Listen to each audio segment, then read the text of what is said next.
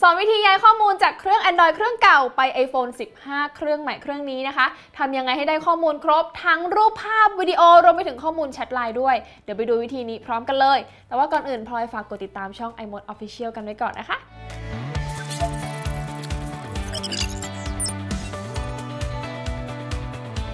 ก่อนที่เราจะไปดูวิธีการย้ายข้อมูลจาก Android ไป iPhone นะคะ เราก็ต้องมาเช็คกันก่อนว่าจะต้องเตรียมอะไรกันบ้างนะคะ อย่างแรกเลยเนี่ยก็คือต้องเช็คพื้นที่เก็บข้อมูลของทั้ง 2 เครื่องก่อนค่ะว่าเพียงพอต่อกันหรือเปล่านะคะ อย่างสมมุติว่าถ้าเครื่องนี้มีพื้นที่เก็บข้อมูลหรือว่ามีข้อมูลอยู่ประมาณ 300 g b แต่ว่าเราซื้อ iPhone มา 256 g b เนี่ย อันนี้เนี่ยความจำก็อาจจะไม่เพียงพอนะคะ ก็ต้องมาเช็คข้อมูลกันก่อน ไปดูที่เครื่อง Android กันก่อนนะคะ วิธีการก็คือไปที่การตั้งค่าค่ะ จากนั้นนะคะก็เลือกที่การดูแลแบตเตอรี่และอุปกรณ์เราก็เลื่อนลงมาด้านล่างนะคะ จะมีที่จัดเก็บข้อมูลตรงนี้นะคะ นี่จะเห็นได้ว่าความจุของเครื่องนี้นะคะมี 512 g b แล้วก็ข้อมูลมีทั้งหมด 133 g b ค่ะ อะ อันนี้มาร์กไว้นะคะ เดี๋ยวเราไปดูกันต่อที่ iPhone เนาะ วิธีการเช็คพื้นที่เก็บข้อมูลใน iPhone นะคะ ก็คือให้เราไปที่การตั้งค่าค่ะ นี่แล้วก็เลือกที่ทั่วไป จากนั้นนะคะก็เลือกที่พื้นที่จัดเก็บข้อมูลของ iPhone นี่จะเห็นได้ว่าเครื่องนี้นะคะมีความจุอยู่ที่ 512 g b เหมือนกับเครื่อง Android ตัวนี้เลยนะคะ ส่วนสิ่งที่ต้องเตรียมต่อไปนะคะ ก็คือบัญชี Apple ID นั่นเองสำหรับใครนะคะที่ยังไม่เคยมี Apple ID เลย หรือว่ายังไม่เคยใช้ iPhone เลยเนี่ยพลอยก็แนะนำให้ไปสมัครบัญชี Apple ID ก่อนนะคะ ก็คือวิธีการเนี่ยเวลาที่เราตั้งค่า iPhone เครื่องใหม่นะคะเขาก็จะมีให้กด สร้างบัญชี Apple ID ส่วนใครที่ยังไม่ได้สมัครณตอนนั้นนะคะ ก็สามารถเข้าไปสมัครหรือว่าสร้างบัญชี Apple ID ได้ที่ appleid.apple.com ได้เลยค่ะหลังจากที่เช็คพื้นที่เก็บข้อมูลเรียบร้อยแล้ว มีบัญชี Apple ID แล้วนะคะ ขั้นตอนต่อไปนะคะก็คือการดาวน์โหลดแอปย้ายไปยัง iOS ค่ะ ก็คือดาวน์โหลดในเครื่อง Android เครื่องนี้นะคะ อันนี้เนี่ยพลอยใช้เป็น Galaxy S 23 Ultra นะคะ ก็คือเข้าไปดาวน์โหลดแอปได้ที่ Play Store เลยนะคะ ชื่อแอปก็คือ ย้ายไปยัง iOS นั่นเอง นี่นะคะ เราก็สามารถกดติดตั้งไปได้เลย พอติดตั้งเสร็จเรียบร้อยแล้ว สิ่งที่ต้องเตรียมต่อมานะคะ ก็คือ เราจะต้องอยู่ในสถานที่ที่ Wi-Fi เสถียรแล้วก็แรงมากๆ แล้วก็ทั้ง 2 เครื่องนี้เนี่ยก็จะต้องเชื่อม Wi-Fi เดียวกันด้วยนะคะ และสิ่งสุดท้ายที่จะต้องเตรียมก่อนการย้ายข้อมูลนะคะ ก็คือการอัปเดตซอฟต์แวร์เป็นเวอร์ชันล่าสุดของทั้ง 2 เครื่องนี้เลย ไม่อย่างนั้นเนี่ยอาจจะเกิดปัญหาหรือว่าเกิดบั๊กต่างๆ ในระหว่างที่เราโอนถ่ายข้อมูลได้ค่ะถ้าเราเตรียมทุกอย่างพร้อมหมดแล้วนะคะ เช็คลิสต์ 5 ข้อนี้เรียบร้อยแล้วเนี่ยเดี๋ยวเราไปดูวิธีการโอนย้ายข้อมูลกันเลย เดี๋ยวเรามาเริ่มย้ายข้อมูลกันเลยนะคะ ใครที่ซื้อ iPhone เครื่องใหม่มาเนี่ยเขาก็จะเป็นหน้าการตั้งค่าแบบนี้นะคะ ก็คือหน้า Hello แบบนี้ เราก็ปัดขึ้นไปได้เลย แล้วก็เลือกเป็นภาษานะคะ แล้วก็เลือกภูมิภาค แล้วเขาก็จะให้เราเลือกรูปแบบนะคะ ว่าจะเอาเป็นข้อความหรือไอคอนแบบใหญ่ขนาดไหนนี่ ก็จะมีขนาดใหญ่ ปานกลาง แล้วก็ค่าเริ่มต้นนะคะ เดี๋ยวพอจะเอาค่าเริ่มต้นแล้วก็แตะที่ดำเนินการต่อค่ะ อันนี้นะคะให้เราเลือกตั้งค่าโดยไม่ต้องใช้อุปกรณ์อื่น จากนั้นให้เชื่อมต่อ Wi-Fi ที่เร็วแล้วก็แรงที่สุดนะคะ ในณตอนนี้เดี๋ยวพอจะใส่ของ iMode อันนี้ไปเลยพอเชื่อมต่อ Wi-Fi เสร็จเรียบร้อยแล้ว ตัว iPhone เขาก็จะใช้เวลาในการเปิดเครื่องค่ะ ก็อาจจะต้องรอนิดนึง อ่า เสร็จแล้วนะคะ ก็ให้คลิกที่ดำเนินการต่อ ตั้งค่า iPhone อันนี้พลอยเลือกเป็นตั้งค่าสำหรับตัวฉันเองก่อนนะคะ แล้วก็จะเป็นตั้งค่า Face ID เดี๋ยวนี้พลอยจะตั้งค่าในภายหลังก่อน อ่าแล้วก็ใส่รหัสของเครื่องไปได้เลย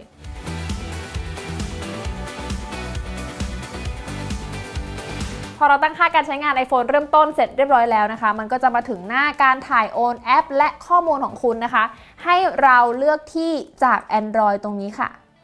นี่ แล้วก็ กดที่ดำเนินการต่อนะคะ จากนั้นเขาจะขึ้นรหัสให้เราเอาไปใส่ที่แอปย้ายไปยัง iOS ของ Android นะคะ นี่ก็คือแอปนี้นี่กดเข้าไปนะคะ แล้วก็กดดำเนินการต่อ กดยอมรับนะคะ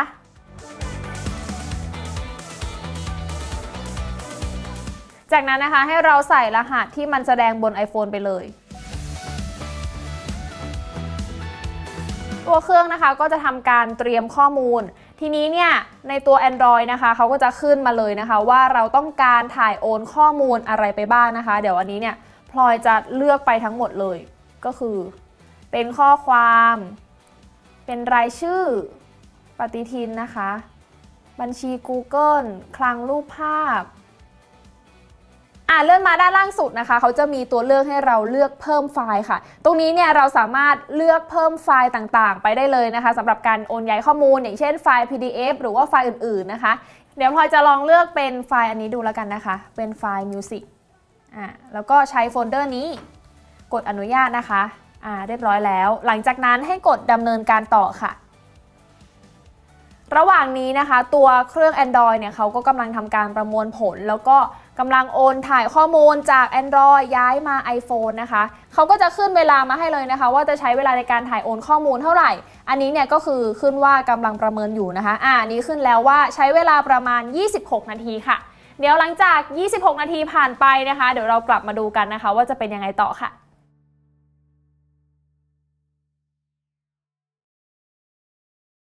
ตอนนี้นะคะก็เหลือเวลาอีกประมาณ 3 นาทีนะคะ การถ่ายโอนข้อมูลก็จะเสร็จเรียบร้อยแล้วค่ะ เดี๋ยวเราไปดูกันต่อเลย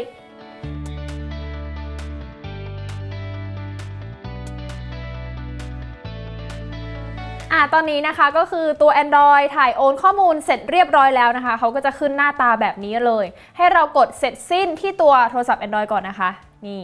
เสร็จแล้วนะคะ ให้มากดดำเนินการต่อที่ iPhone อ่า แล้วเขาก็จะให้เราใส่ Apple ID ที่เราสมัครหรือว่าสร้างบัญชีไว้นะคะ ขั้นตอนนี้นะคะที่พลอยบอกไว้ว่าให้ทุกคนไปสร้างบัญชี Apple ID ไว้ก่อน ก็จะต้องเอามาใส่ในขั้นตอนนี้นั่นแหละค่ะ ตอนนี้นะคะก็คือเสร็จเรียบร้อยแล้วให้เรากดยอมรับค่ะ จากนั้นนะคะตัวเครื่อง iPhone เขาก็กำลังลงชื่อเข้าใช้บัญชี Apple ID ของเราอยู่ อย่างอันนี้นะคะก็คือเป็นรูปอีโมจิที่พลอยตั้งไว้แบบนี้เลย พอมาถึงหน้านี้นะคะ เขาก็จะขึ้นไว้เลยว่าแอปและข้อมูลมาจาก Android นะคะนี่ จากนั้นนะคะก็ให้เรากดดำเนินการต่อค่ะ พอมาถึงหน้านี้นะคะ ตั้งค่า eSIM ให้เราเลือกที่เมนูตั้งค่าภายหลังในการตั้งค่าก่อนตรงนี้ค่ะ ถ้าใครอยากจะสร้าง eSIM เพิ่มเติมบน iPhone นะคะ ก็สามารถเข้าไปกดสร้างเพิ่มได้ อ่าเสร็จเรียบร้อยแล้วนะคะ อันนี้ก็คือเขาจะขึ้นหน้าว่ายินดีต้อนรับสู่ iPhone ก็เป็นการย้ายข้อมูลเสร็จเรียบร้อยแล้ว แล้วก็ปัดขึ้นไปได้เลยอ่าเดี๋ยวเรามาเช็คข้อมูลกันก่อนเลยนะคะว่าข้อมูลรูปภาพต่างๆนะคะ มาครบหรือเปล่า อันนี้นะคะ พอเราย้ายข้อมูลเสร็จเรียบร้อยแล้วเนี่ยเขาก็จะมีหน้าต่างแสดงขึ้นมานะคะว่า จะเพิ่มแอปที่มีบนอุปกรณ์ Android ที่เราย้ายมาจากเมื่อกี้หรือเปล่านะคะ อย่างอันนี้เนี่ยเราสามารถเลือกได้ว่าจะไม่เพิ่มหรือว่ากดเพิ่มอย่างพลอยก็จะกดเพิ่มไปนะคะ นี่อย่างตัวแอปนะคะเขาก็จะทำการดาวน์โหลด จะเห็นได้ว่าแอปที่เราดาวน์โหลดไว้บน Android เนี่ยเขาก็จะขึ้นมาแบบนี้เลย เราก็สามารถกดแตะเพื่อดาวน์โหลดแบบนี้ได้นะคะ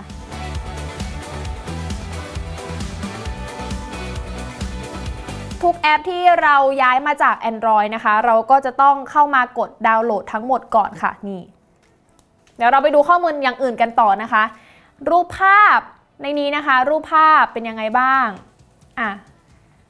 รูปภาพมีประมาณนี้นะคะ ไปดูรูปภาพบน iPhone อ่า ก็ถือว่ามาค่อนข้างครบเลยนะคะ นี่ รูปภาพประมาณนี้ นี่ก็ถือว่ามาครบอยู่นะทุกคน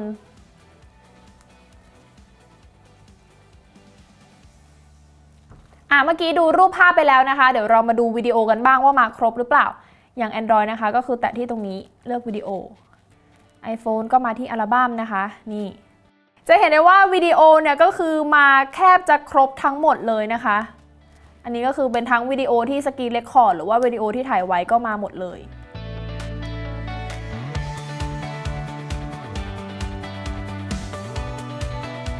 วิดีโอเสร็จแล้วนะคะ ไปเช็คที่รายชื่อติดต่อกันบ้าง อันนี้นะคะเป็นรายชื่อติดต่อบน Android เดี๋ยวเราไปดูใน iPhone ก็คือรายชื่อเนี่ยมาครบเลยนะคะ อย่างอันนี้เนี่ยมีแค่ไม่กี่รายชื่อเนาะประมาณนี้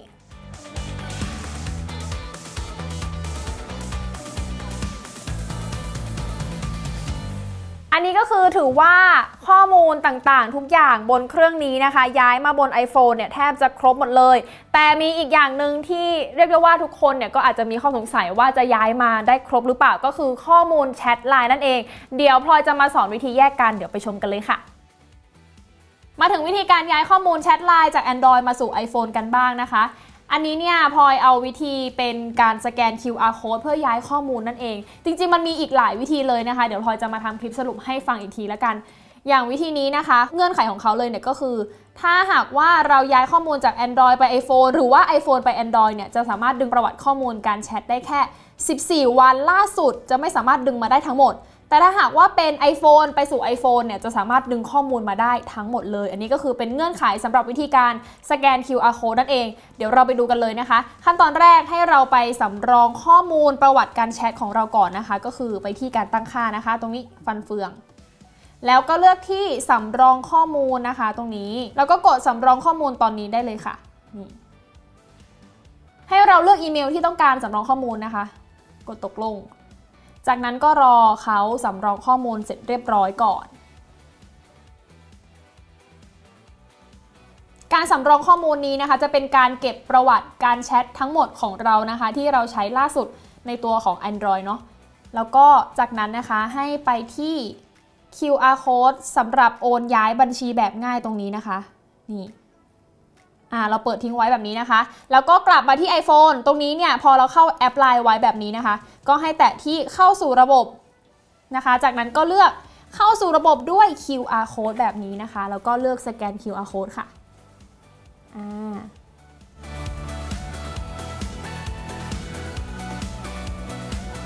แล้วก็สแกน QR code ไปได้เลย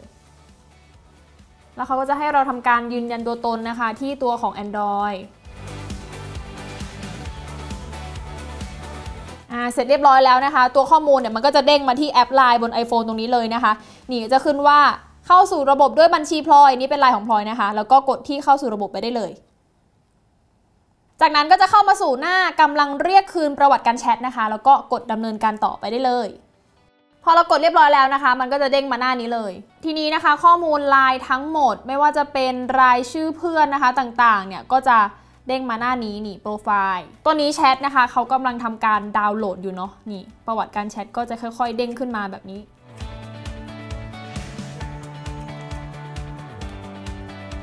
เวลาที่เราย้ายข้อมูลจากไลน์เครื่อง Android นะคะมาที่ iPhone เนี่ยเวลาย้ายเปลี่ยนเครื่องจากเครื่องไหนก็แล้วแต่เนี่ยตัวไลน์นะคะทีมไลน์ที่เราตั้งค่าไว้ทั้งหมดเนี่ยมันจะกลายเป็นหน้า default ถ้าเราอยากจะให้เป็นทีมไลน์ที่เราตั้งไว้นะคะ ก็แค่ไปที่ตัวการตั้งค่านะคะ แล้วก็เลือกทีมตรงนี้ค่ะ นี่ ทีมหรือว่าสติกเกอร์ต่างๆ ที่เราซื้อไว้ก็จะยังคงอยู่เหมือนเดิมนะคะ แค่เราต้องเข้าไปทำการดาวน์โหลด เพื่อมาใช้งานต่อนั่นเอง